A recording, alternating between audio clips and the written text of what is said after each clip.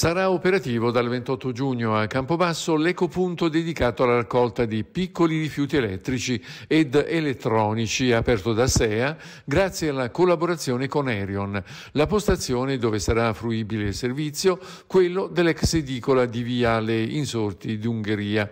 Quindi in questo luogo sarà possibile conferire materiale come tablet, PC, smartphone, lampadine, pile e tv assistiti da personale qualificato. L'obiettivo è quello di fare sensibilizzazione sulla corretta raccolta differenziata di questi rifiuti particolari e nel contempo offrire ai cittadini un servizio semplice e pratico per conferirli così da incrementare la raccolta ed impedire che magari questi rifiuti possano prendere strade scorrette di smaltimento.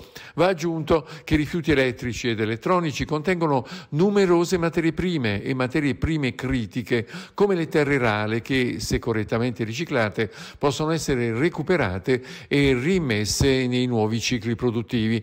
Da una ricerca realizzata da Ipsos per Erion emerge che l'81% degli italiani tiene un apparecchio elettronico senza usarlo, mentre il 61% non lo butta anche se rotto. Ma cosa frena i cittadini ad un corretto conferimento? Il 39% pensa di poterlo riparare, il 30% di poterne utilizzare le parti di ricambio, il 23% dichiara ancora di non conoscere la corretta procedura di smaltimento, il 15% ha difficoltà nel raggiungere un centro di raccolta. Dal 28 giugno l'operatività del nuovo centro raccolta cercherà di incidere su questi dati statistici.